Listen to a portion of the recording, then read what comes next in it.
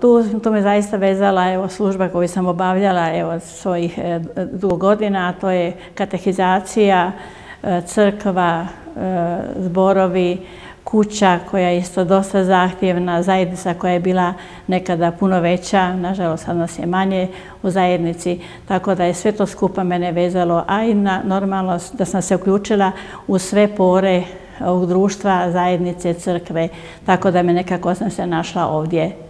Pa najviše se volim baviti djecom, rad djecom i s mladima. To mi nekako leži i to, nekako naj, najrađe obavljam i volim taj posao. Mi smo tu svaki dan i s njima i dolazimo među njih i djeca nas rado imaju. Evo to je sada novi dio stvari vrtića koje smo otvorili 2001. godine. Ono što je, po čemu je ona posebna, to je njen pozitivni stav prema životu, prema ljudima, uvijek prema svima jednako. Dakle, nikada nije nikoga izdvajala, a kada je došla u Suboticu, ono što je najvažnije, zavoljela je nas, zavoljela je naš narod, našu crkvu i odmah se uključila u život crkve u svim njezinim događanjima.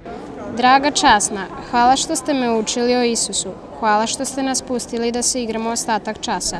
Što ste nas vodili u Sombor. Pozdravlja vas Aco.